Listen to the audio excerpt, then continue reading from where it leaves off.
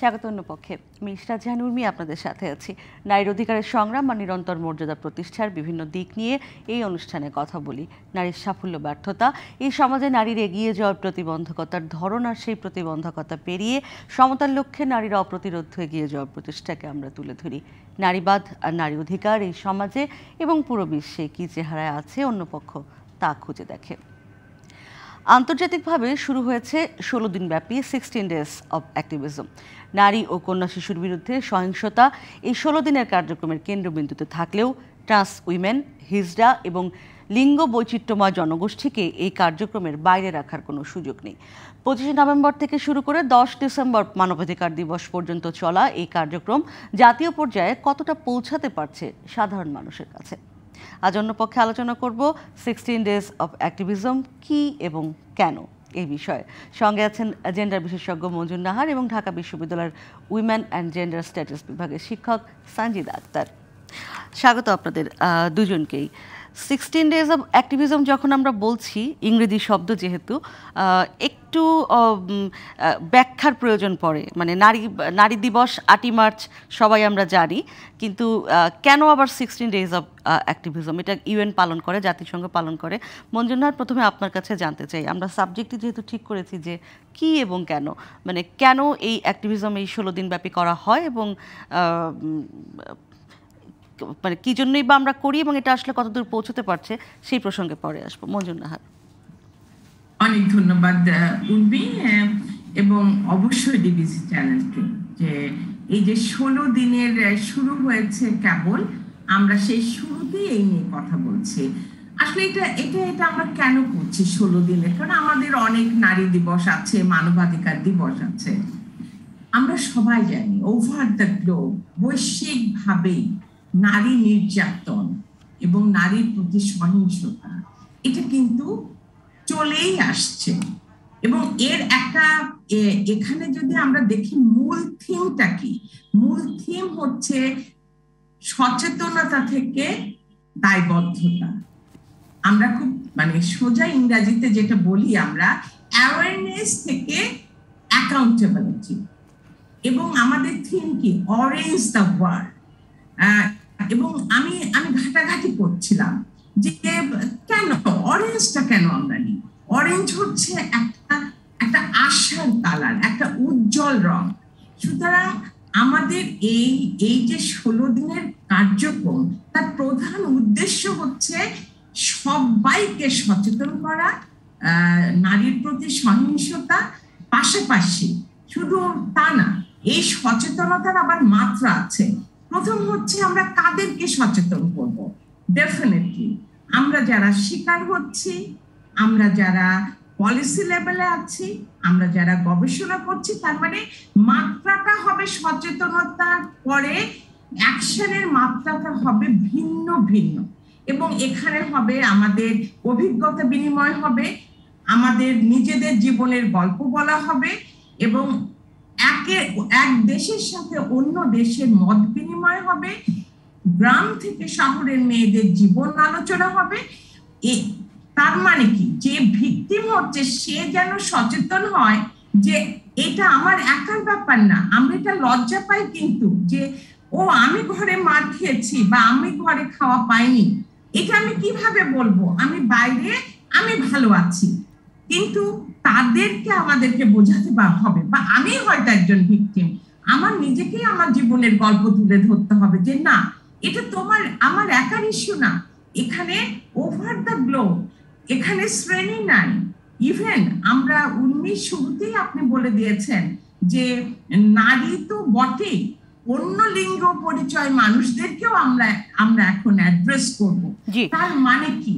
আমরা যদি বলি অরেঞ্জ দ্য ওয়ার্ল্ড আমরা সারা পৃথিবীতে কমলা রং ছড়িয়ে দেব এবং নারীর প্রতি সহিংসতা আমরা প্রতিরোধ এবং বন্ধ করব। জি মজুনার আবারও ফিরবো আপনার কাছে। আমি একটু সানজিদ আক্তার আপনার কাছে জানতে চাই যে আমরা যেটি যেখানে মজুন আক্তার থামলেন মঞ্জুনাহার যে ট্রান্স উইমেন হিজড়া এবং লিঙ্গ বৈচিত্র্যময়। মানে আমরা যখন নারী দিবসের কথা বলি নারীর কথা বলি। কিন্তু সিক্সটিন ডেজ অ্যাক্টিভিজমের সময় আমরা কিন্তু এই লিঙ্গ বৈচিত্র্যের অধিকারী যারা যাদেরকে আসলে আমাদের সমাজ একরকম ঘৃণার চোখে দেখে হ্যাঁ তাদেরকেও আমরা এই সিক্সটিন ডেজ অ্যাক্টিভিজমে যুক্ত করে নিতে পারি বা যুক্ত করে নিতেই চাই। সেই জায়গাটা ধরে আপনি যদি একটু বলেন যে আসলে নারীর অধিকারের কথা বলা মানে তো সবার অধিকারের কথা বলা মানুষের অধিকারের কথা বলা। সানজিদ আক্তার। জি, ধন্যবাদ একটা প্রচণ্ড সময় উপযোগী বিষয় আলোচনা আজকে তুলে আনবার জন্য। আর এখন আমাকে যে প্রশ্নটি করা হলো, সেটি আরও বেশি প্রাসঙ্গিক এবং খুব আমি মনে করি যে এটি নিয়ে আরও বেশি আলোচনা হওয়া উচিত এই কারণে যে আপনি যদি নারীবাদের তাত্ত্বিক জায়গা থেকেও দেখেন, তাহলে আপনি যেটা বলেছেন সেটি সাথে আমিও একমত পোষণ করতে চাই যে নারীবাদ কিন্তু আসলে আদতে সমগ্র মানুষের মুক্তির কথা বলে একই সঙ্গে এবং সেখানে বিশেষ করে প্রান্তিক মানুষের মুক্তির কথা বেশি জোর দিয়ে বলে এবং প্রান্তিক মানুষের মধ্যে যে শুধু নারী আছে তা তো নয়, সেখানে অন্যান্য সেক্সুয়াল ওরিয়েন্টেশন হিজড়া জনগোষ্ঠী এরাও রয়েছে। সুতরাং এবং আমাদের বাংলাদেশ সরকার কিন্তু বিশেষ করে হিজড়া জনগোষ্ঠীকে সাংবিধানিক স্বীকৃতি দিয়েছেন। ইউনো আমরা জানি এখন বিভিন্ন সরকারি ফর্মে লেখা থাকে আর কি, যেটি সুতরাং এটি এখন আমাদের রাষ্ট্রীয়ভাবে, আমাদের সমাজের জায়গা থেকে কমিউনিটির জায়গা থেকে আমাদের, যখন আমরা ভায়োলেন্স এগেনস্ট ওয়েমেনের কথা বলছি, আমরা যখন সমাজে সচেতনতা, মঞ্জুনাহার আপা যেটা বললেন যে অ্যাওয়ারনেস টু অ্যাকাউন্টেবিলিটি এই জায়গাগুলোতে আমরা যখন কাজ করতে যাব, তখন আমার মনে হয় যে এটি এখন অত্যন্ত প্রাসঙ্গিকভাবে হিজরা জনগোষ্ঠীকে এর মধ্যে ইনক্লুড করবার অবশ্যই অবশ্য প্রয়োজনীয়তা রয়েছে এবং সেটা এখনই শুরু হওয়া উচিত বলে আমি মনে করি। শুধু হিজড়া জনগোষ্ঠী নয় আমরা বলছিলাম যে রূপান্তরকামী যারা আছেন তাদেরকেও এখানে যুক্ত হ্যাঁ, করা। আমি ওটা আমি সরি ওটা মিস করে গিয়েছি যদি আমি প্রথম দিকে বলেছি হ্যাঁ। যে হিজড়া এবং অন্যান্য সেক্সুয়াল ওরিয়েন্টেশনের যারা রয়েছেন আর কি। তাদেরকে মানুষ হিসেবে স্বাভাবিক মানুষের মধ্যে সমাজে মেইন স্ট্রিম করবার জন্য পদক্ষেপ নেওয়া প্রয়োজন বলে আমি মনে করি। জি সাজিদ আক্তার আমরা আসলে সেই বিষয়টি একটু বুঝতে চাইছিলাম যে আমরা দেখতে আমি বলছিলাম যে আসলে এই মানে রূপান্তরকামী যারা আছেন তাদেরকে এক ধরনের ঘৃণার চোখে আমাদের সমাজে এখন পর্যন্ত দেখা হয়। নারীকে তো নারী বিদ্বেষ তো আছেই। এই রূপান্তরকামীদের প্রতি বিদ্বেষ নতুন করে আমরা দেখতে পাচ্ছি। যেহেতু বিষয়টা সামনে উঠে আসছে ইদানিং। জি জি আসলে বাংলাদেশের সমাজের প্রেক্ষাপট যদি আপনি চিন্তা করেন যে নারীরাও যদি একটুখানি ইউনো তাদের ট্র্যাকের বাইরে চলে যায় কোনোভাবে, সেখানেও কিন্তু নারীর প্রতিও নানা রকমের আমরা ভিকটিম ব্লেমিং দেখি, আমরা নারীর চরিত্র বিশ্লেষণ সাম্প্রতিক ঘটনায় নানাভাবে কিন্তু উঠে এসেছে। সেই জায়গাগুলো আমরা খুব দেখে থাকি। সুতরাং সেখানে এটা অস্বাভাবিক কিছু নয় যে রূপান্তরকামী যারা রয়েছেন এমনকি হিজা জনগোষ্ঠীর কথা আমরা যেটা বলছি, এদেরকে একটু ঘৃণার চোখে দেখা হবে। এটা কিন্তু আমাদের এখন মানে এভাবে হয়েছে। কারণ বিষয়টি এখন সামনে আসছে বেশি এবং এখানে যথেষ্ট পরিমাণ সেন্সিটাইজেশন আমাদের সমাজ across the class and across the education uh, educational status of the people আমি বলছি শ্রেণি ক্লাস শিক্ষাগত অবস্থান সকল কিছু নির্বিশেষেই কিন্তু একটা আমার কাছে মনে হয় যে একটা বিদ্বেষমূলক মনোভাব ঘৃণার মনোভাব এখন রয়ে গেছে। তো সেই জায়গাগুলোতে আমাদের আসলে এই যে এখন সময় সচেতনতা তৈরি করবার কাজ করবার অন্তত মানুষকে সেন্সিটাইজ করবার জন্য কাজগুলো করবার করা বিশেষ প্রয়োজন। জি মঞ্জুর নাহার ইউএন আসলে এই মানে এই কার্যক্রমটি মূলত করে থাকে মানবাধিকার দিবস পর্যন্ত। এক ধরনের মেসেজ দেওয়া যে নারীর অধিকার মানে মানবাধিকার। এবং সেই কারণেই কিন্তু আসলে আমার মনে হয় যে এই বিষয়টি। কিন্তু যেটি আমার প্রশ্ন ছিল যে কতখানি আসলে আমরা পৌঁছাতে পারছি বা পরিচিত করে তুলতে পারছি কিনা দিবসটিকে? নারী দিবস যেরকম খুব পরিচিত এই সিক্সটিন ডেজ অফ অ্যাক্টিভিজমকে অতখানি পরিচিত কিনা? তার আগে আমি একটু একটু যোগ করে নেব যে আমি একটু প্রান্তিক মানুষের কথা বলে এক মিনিট আমি উত্তরটা দেবো। যেরকম আমি সানজিদা আপার সাথে একটু যোগ করি যে, অবশ্যই রূপান্তরকামী নারী পুরুষ, তারপরে আমি বলব যে ইভেন আমাদের দেশে যারা আদিবাসী মেয়েরা আছে এবং সেখানে যে প্রান্তিকতা, তাদের তাদেরটাও কিন্তু আমাদেরকে মানে আলোচনায় তুলে আনতে হবে। আর অবশ্যই আমি বলব যে আমরা যদি নারীবাদের দৃষ্টিতে এই ষোলো দিনের এই যে আমরা প্রচার বা ক্যাম্পেইন দেখি, তাহলে প্রত্যেকটি প্রান্তিক পরিচয়ের মানুষ এখানে ইনক্লুডেড এবার আসি আমরা কতদূর এগিয়েছি। হ্যাঁ ইন্টারন্যাশনালি আমরা আমরা যদি দেখি যে আমাদের অনেক ভালো কিছু কনভেনশন আছে, আমাদের সেডো আছে বেইজিং অ্যাকশন ফর প্ল্যাটফর্ম আছে, আমাদের গভর্নমেন্ট কিন্তু সাইনও করেছে।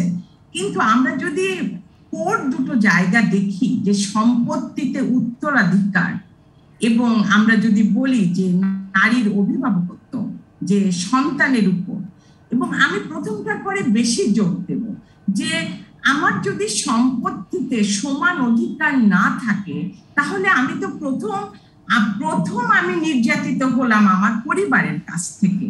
যে আমি ডিসক্রিমিনেশনের শিকার হলাম। কারণ একটা মানুষ যার রিসোর্স নাই, তখনই তো শুরু হয় যত রকমের মানে বৈষম্য তাদের সাথে। এইটা একটা কথা। আর এই ষোলো দিন আসলে কতটা প্রচার পেয়েছে? আমরা দেখি যে গুটি কয়েক সিভিল সোসাইটি অর্গানাইজেশন প্ল্যাটফর্ম তারা হচ্ছে কমলা মানে ড্রেস করছে বা ব্যানার করছে প্রোগ্রাম করছে। মঞ্জুনাহার মঞ্জুনা আমি একটু একটু মনে হয় এটা জি আমরা আমি আমি একটা বিরতি থেকে ফিরে এসে আসলে যে কতখানি এগুলো এই বিষয়টা আপনাদের দুজনের কাছে জানতে চাইব। একটা বিরতি নিয়ে ফিরছি। মঞ্জুন্নাহার আপনি বলছিলেন যে আসলে কতটা আমরা পৌঁছাতে পারলাম মানুষের কাছে। আমার কাছে মনে হলো যে এই দিবসটি আসলে একেবারেই এনজিওস এবং আপনি যেটি বলছিলেন সিভিল সোসাইটি বা গুটি কয়েক শিক্ষিত মানুষ এই বিষয়টি জানে। নারী দিবস যেরকম মোটামুটি সব সব জায়গায় পৌঁছে গেছে, আমরাও জাতীয়ভাবে পালন করি। সিক্সটিন ডেজ অফ অ্যাক্টিভিজম ঠিক সেইভাবে মানুষের কাছে পৌঁছায়নি। কীভাবে পৌঁছানো যেতে পারে সেটি যদি একটু তুলে ধরেন। আমি আমি প্রথমেই মানে বলব যে আমরা যতই, আমরা হচ্ছে সরকারের সাপোর্টিভ হ্যান্ড কিন্তু এটা যদি সরকারি পর্যায় থেকে এই সিক্সটিন ডেজ শুরুটাই যদি নারী দিবস বা মানবাধিকার দিবসের মতো পালন করা হয় সরকারিভাবে, আমি আমি জানি হ্যাঁ মানে মহিলা নারী ও শিশু অধিদপ্তর থেকে টুকটাক প্রোগ্রাম করা হয়, কিন্তু বড় করে যেরকম নারী দিবসে করা হয়। তাহলে কিন্তু এর ব্যাপক একটা প্রসার ঘটবে।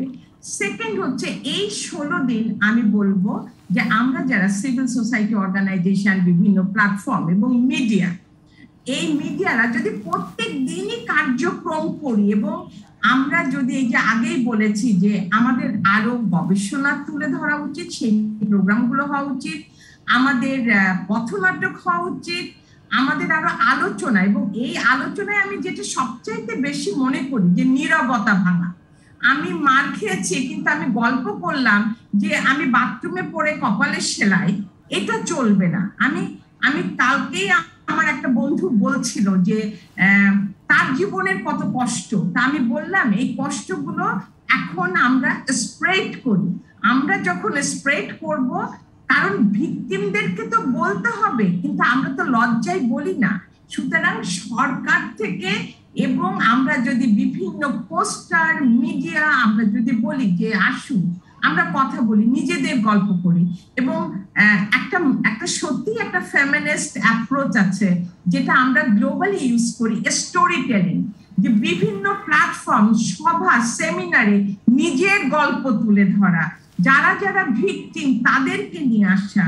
তো আমি মনে করি যে এইটা হচ্ছে একটা বড় বড় উপায় হবে আমাদের এই সিক্সটিন ডেজকে কারণ আমার খুব ভালো লাগছে, আমি যখন ইউএন উইমেন এর ওয়েবসাইটে যাচ্ছি বা ইউএন এর গ্লোবাল ওয়েবসাইটে যাচ্ছি, তারা সব কিছু অরেঞ্জ দিয়ে তারা লিখে দিয়েছে যে মানে কালার দ্য ওয়ার্ল্ড মানে অরেঞ্জ দ্য ওয়ার্ল্ড এবং end the violence against women এই শব্দটা এবং এর পাশাপাশি আমরা আরও যোগ করব, যেরকম আমি, সানজিদা বা আপনি আজ আলাপ করলাম যে অন্যান্য প্রান্তিক লিঙ্গ পরিচয়ের মানুষকেও আমরা বলব। আমরা নারীর পাশাপাশি সবার কষ্টকে, বেদনাকে এবং নির্যাতনকে আমরা প্রচার করব।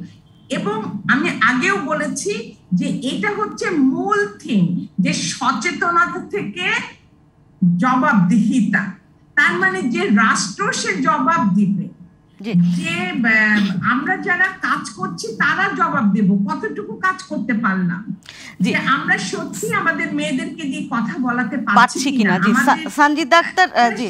সঞ্জিত ডাক্তার আপনার কাছে প্রশ্ন হচ্ছে যে অরেঞ্জ দ্য ওয়ার্ল্ড বলা হচ্ছে এবং মঞ্জুর নাহার বলছিলেন যে একটা আশার রং হচ্ছে আসলে বা উৎসবের রং হচ্ছে অরেঞ্জ একই সাথে এই সিক্সটিন ডেজের মধ্যে আসলে নির্যাতনের কথা, অত্যাচারের কথা এবং ব্রেকিং দ্য সাইলেন্স যেটি বলছে নিরাপত্তা ভাঙার কথা বলা হচ্ছে। আর কি কি বিষয় আসলে আসতে পারে এই মানে আমরা যদি নিজেরা এই অ্যাক্টিভিজমটা করি অথবা ষোলো দিনব্যাপী বিভিন্ন রকমের সচেতনতামূলক কাজ যদি করি, আর কি কি আসলে ভেতরে আসতে পারে? সঞ্জিত আক্তার। ধন্যবাদ। আসলে অরেঞ্জ রংটা যেটা আমরা মানে মনে হতে পারে কন্ট্রাডিক্টরি যে আমরা একই সঙ্গে নির্যাতনের কথা বলছি আর একদিকে এরকম একটা ভাইব্রেন্ট কালারকে সামনে আনছি। আসলে এই মানে এই নির্যাতনের গল্প গলা মানে কথাগুলো বের হওয়ার মাধ্যমে একজনের সাথে আরেকজনের বন্ডিং তৈরি করা যেটা গ্লোবাল সিস্টারহুড বলতে পারেন এবং তার মাধ্যমে জিনিসটাকে আসলে ভাঙা হ্যাঁ প্রতিকার খোঁজা। এই মনে হয় যে এই আশা চিত্রটা সামনে রাখবার জন্যই রংটা করা হয়েছে কমলা।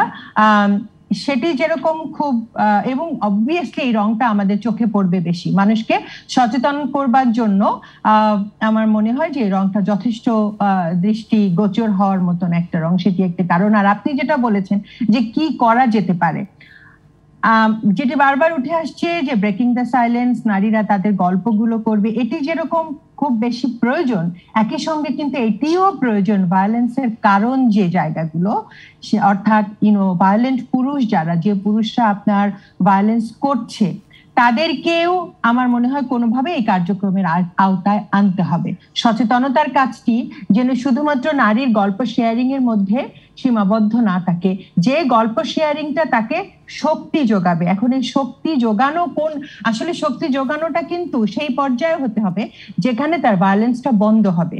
ভায়োলেন্সটা যে, তখন যে পারপেট্রেটার তার কাছে মেসেজটা যেতে হবে যে সে কিছু একটা ভুল করছে, কিছু একটা অন্যায় করছে।